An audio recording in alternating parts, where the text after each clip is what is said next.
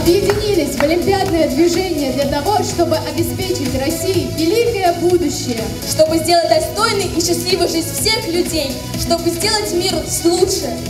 Наша миссия – быть Россией, быть вместе. 16-я школа. Здесь собрались более 300 учащихся образовательных учреждений городского округа Щелково. Все они успешно прошли школьные и муниципальные этапы Всероссийской Олимпиады школьников и теперь представят наш муниципалитет на региональном этапе. Ожидается, что цифра участников вырастет до 500 после подведения результатов еще по трем предметам – истории, обществоведению и английскому языку. Столько участников было и в прошлом году. На школьном этапе э, дети какие-то баллы э, за олимпиадные испытания получают э, в соответствии с решением жюри устанавливается проходной балл на муниципальный этап.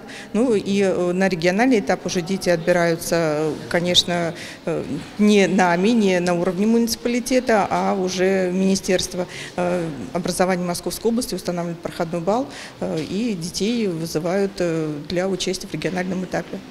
В команду муниципалитета для участия в региональном этапе Всероссийской Олимпиады школьников входит более 100 учащихся из школы номер 16. Любая победа ученика – это, конечно, труд командный.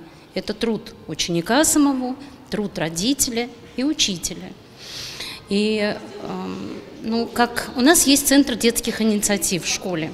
Там э, есть замечательные слова, которые являются девизом для каждого учащегося и школы 16. «Верь в себя, Смело иди к мечте. Всероссийская Олимпиада школьников – это главная в России Олимпиада для учащихся 4-11 классов, которая проходит по 24 общеобразовательным предметам. Призеры и победители Олимпиады получат максимум привилегий при поступлении в вузы.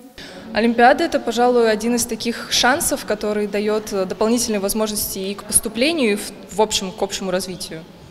Вот, и помогает э, расширять свои горизонты, и, конечно же, дополнительные баллы при поступлении полезны будут каждому. Для меня это тоже очень хороший шанс. Во-первых, э, потренироваться перед экзаменом, потому что есть многие темы, которые могут быть полезны для экзамена, и также это возможность поступить, допустим, в ВУЗ без э, ЕГЭ, сразу по Олимпиаде.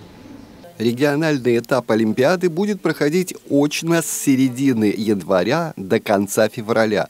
Для учащихся, входящих в команду муниципалитета для участия в региональном этапе, в 16-й школе были проведены мастер-классы по представленным на Олимпиаде общеобразовательным предметам. Андрей Цеханович, Игорь Поляков, Щелковское телевидение.